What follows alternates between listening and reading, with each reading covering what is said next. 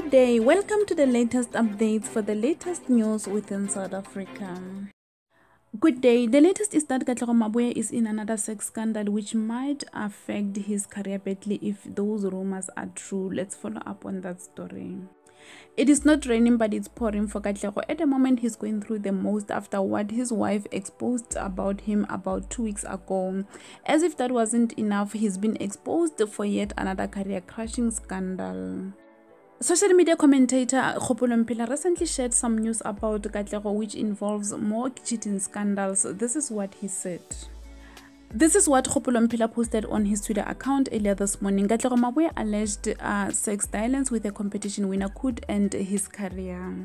Kgopolo went on to say Katlego as a Lay's Chips ambassador at the time had sex in a hotel with a woman who won a competition hosted by the brand. In addition, Kgopolo said while the cheating and STD revelations were a private matter and Katlego could have survived it, latest revelations alleging he used his position for sex may be harder to overcome. Sex was reportedly consensual but will hurt his chance to ever work with brands going forward. As we remember about two weeks ago, there was also a video of him making rounds on social media admitting to have cheated on his wife with a certain lady that he worked with. His career was badly affected ever since that video surfaced on social media. Expresso put him on special leave, while on the other side, Outsurance was also threatening to pull down all the ads that they made with him. Things are really bad for him at the moment.